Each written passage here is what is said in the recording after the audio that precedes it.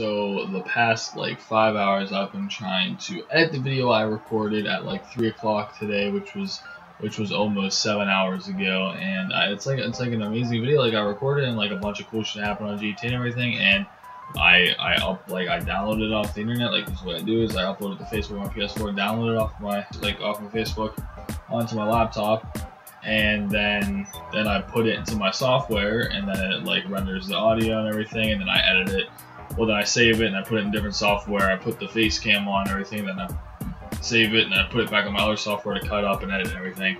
And for some reason, it, the gameplay won't upload to my first software, like the original one where I cut up everything, just so I can get it to the other format that it needs to be for the software where I put the face cam on. So for some reason that won't work.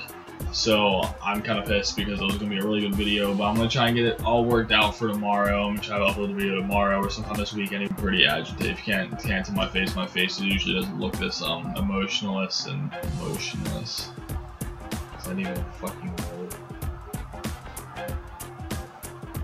But yeah, except this video is literally going to be like 45 seconds to a minute short. Here is a picture of a fucking koala bear. So so enjoy that for like 30 seconds. I'll see you guys tomorrow. Peace out.